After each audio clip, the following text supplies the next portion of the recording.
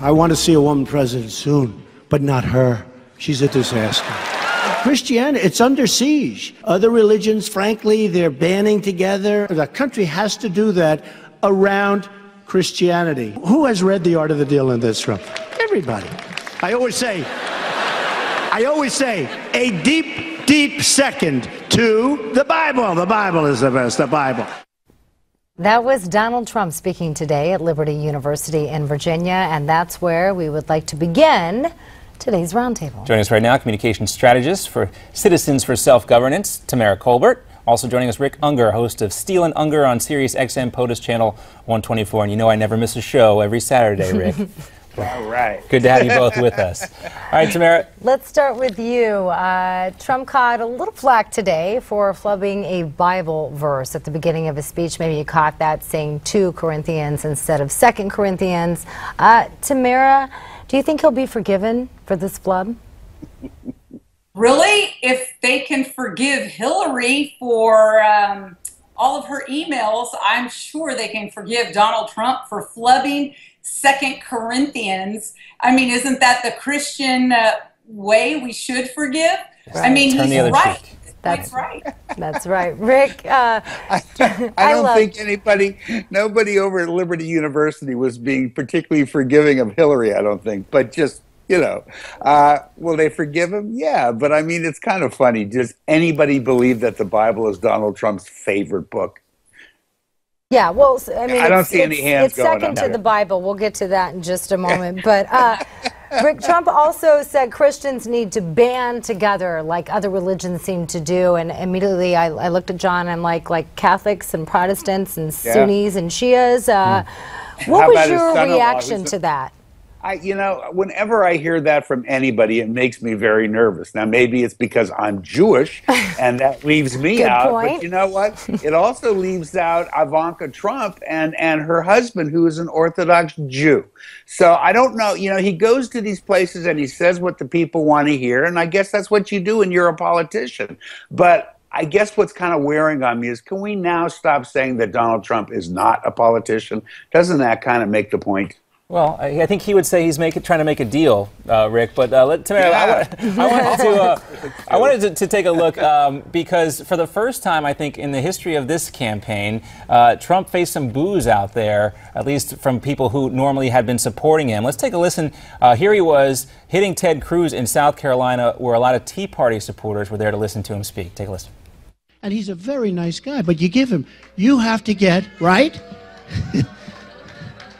You have to get, well, excuse me, excuse me. He didn't report his bank loans? Excuse me. Didn't report his bank loans? Say whatever you want. He didn't report bank loans. That's okay. All right, so uh, that was the first time I think we can remember in recent memory where Trump uh, did not do very well with the crowd. This was the South, Part, or South Carolina Tea Party coalition. Tamara, you've been a you've been a supporter of Trump throughout the campaign. Were you somewhat surprised to hear those boos? Well, I'm a supporter of a lot of candidates and haven't put my eggs in one basket yet, but I think every candidate, you there's no way that you can please everybody. I think what's really grating with people is when Trump is going on the offense and and and saying certain things about candidates when the Tea Party group in particular in South Carolina, they're looking for real solutions. And so I think Trump is going to have to pony up some of those solutions as we uh, start the serious vetting with the caucuses coming up. Rick, do you think that this is going to help him at all? Because he had some pretty harsh comments to say about Ted Cruz, calling him well, nasty. I mean, very different different tone. Well, exactly. That's what's. Thank you. That's what's so confusing because just this morning or or yesterday, he was telling us that nobody likes him once they get to know him, and and Ted's a nasty guy and all that stuff. And then today, in making the speech, he says, you know, he's a pretty nice guy. Uh, but he didn't file the proper returns. He's, you know, he just talks off of his cuff, which is, I suppose, charming in some respects. But you're going to get things wrong when you do that. And John, he was booed during the debate, so it's not the first. Yeah, time. you're right. But he was talking. He was in referencing rallies. Right? Yeah, you to know, come- when you have a rally, it's a little bit different. They show up to actually hear one guy speak. When you have a debate, well, they're there to hear everybody speak. So you would think there's some. Especially when he only lets his supporters into the rally, as a rule. Yeah, Yeah, true. you have to sign that loyalty oath. Uh, Tamara, you know, You want to go back to the Bible thing? Because I, I have to get the reaction to that because The Bible uh, verse. Yeah, Yeah, we- I, I have to know, Tamara. What what did you think about it? Because you heard him. Trump compared his book, The Art of the Deal, to the Bible, saying it's a deep second. His book, not the Bible. Uh, is that Actually, let's that let, let's take a wise listen make- to it. We you, can, you we got can get the reaction. Okay. The Art of the Deal. Everybody read the Art. Who who has read the Art of the Deal in this room? Everybody. I always say, I always say, a deep, deep second to the Bible. The Bible is the best. The Bible. The Bible blows it away. That's not, Ew, I'm kind of cringing. Uh, what was your reaction when you heard that? It's cringeworthy because I think, you know, we all know that Trump does not profess his Christianity openly, and it's obviously um, apparent that he does not uh, know the inside buzzwords from the Christian perspective. Right. I I felt like the crowd was, was very polite, as you would expect from Liberty Yes, University there you students. go. Some They're uncomfortable laughs. Christian-like. Well, they would have, they would have been fined ten dollars if they weren't. That's right. He, he also referenced the record crowd and donated that or honored Martin Luther King with that, even Right. though most of the students Right. Had and, to be you know there. the ten dollars thing's for real. If somebody at Liberty University does not come to an event like that, they are fined right. They ten have. dollars. It's it's Wow. compulsory. They have to be there. So that might explain the large crowd. Well, Saying. stick around, guys. That we have to go to a commercial break. But when we come back, we're going to talk about that Democratic presidential debate. Uh, they're not they're not nice anymore. They're getting a little ugly. So we're going to discuss that.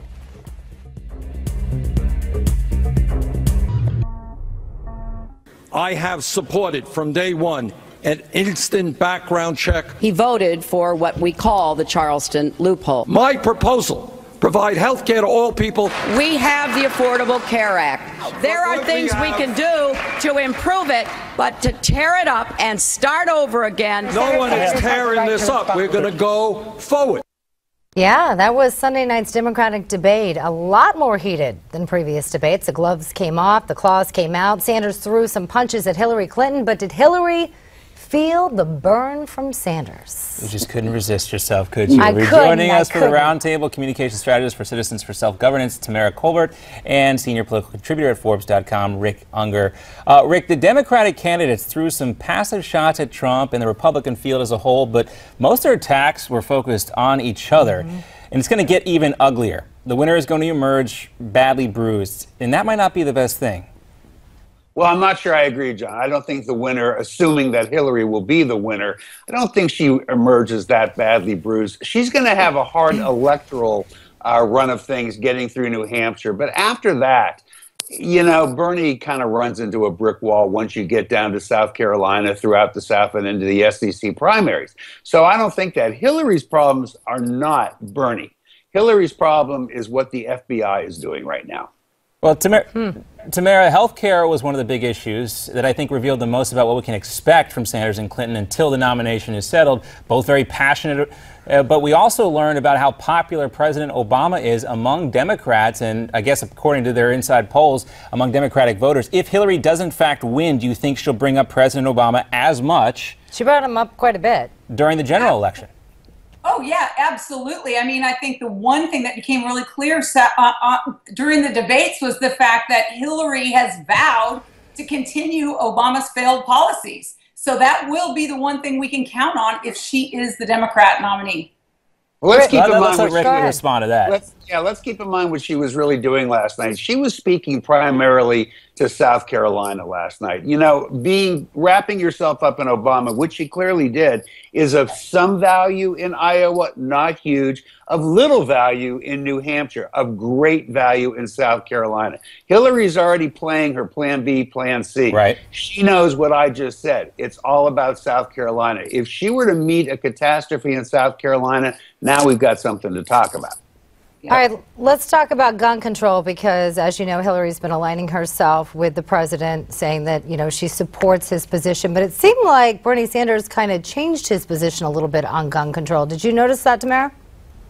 I actually think these guys are trying, I think Bernie is actually coming a little bit more to the middle. I think Bernie is trying to differentiate himself from Hillary because Hillary is taking such a hardline stance to not just support Obama's gun legislation and his uh, focus on confiscation of guns, but she wants to even kick his up a notch. And I think Bernie is having to divest himself from Hillary in that capacity. Rick, what Yeah, do you but- think? Yeah, I mean, Bernie's problem is not that he has to get to the middle. Bernie's problem is on guns. He has to get to the left because he has supported some NRA measures. Now, Hillary does overstate it. Bernie's telling the truth when he says that he has a D minus rating Right. from the NRA. So it's obviously not like he's doing their bidding. But he did register a few votes. Remember, he comes from a very rural state mm-hmm. where a lot of people have guns. So, no, he's not trying to get to the center. He's trying to get back over to the left where he wants to be. Tamara, at one point, uh, Sanders referred to Donald Trump as his good friend. CNN likened Sanders to Donald Trump, saying their tone of anger is similar. Do you agree with that? I, I absolutely do. Both Bernie Sanders' surge is because the American people are upset with the status quo in Washington. It's exactly why Trump is resonating. And I think in an odd, strange way, Trump and Sanders are really tapping into something uh, that's going on in America. Yeah, I think you're right about that. I Rick. think Tamara's right about that. The difference is, is that Bernie doesn't insult people personally the way Donald Trump does. Uh, well, I think he's getting very close to uh, insulting Hillary Clinton personally. He came so close not during there. the you think though he, he made He's like never that run a negative ad in, in any of his elections, and I, am just waiting for you know this has been an election of first. I'm just waiting for the first time Bernie Sanders comes out because you know inside his campaign they can they can almost smell the blood. They want to they want to bet pounce. I, you're probably right, John, but I'll bet you he's not going to make fun of what she looks like, like Donald Trump no, has done. No, No. no, I don't think he'll, he'll go there. Uh, but this this has been very fascinating over the last week or so, trying to watch Hillary Clinton outflank Bernie Sanders from the left, trying to drive a wedge between him and President Obama on any possible issues. Um, it looks like the Hillary camp, camp has finally awakened. The force has awakened within Yes. the Hillary camp. I it's love been it. They've always been awake.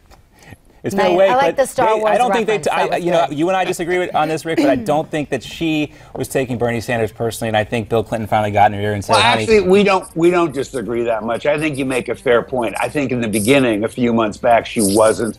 And I, I do agree with you that she's forced to take him more seriously now. Absolutely. That's right. 100%. It Yeah. looks good. Th- Tamara, Rick, thanks so much. Great conversation, Pleasure. guys. Look forward to another You one. guys have a great week. All right, just added Newsmax now. A special American moment taking a look at the life of Dr. Martin Luther King Jr. And we want to hear you about Sean Penn's 60 Minutes interview. What'd you think?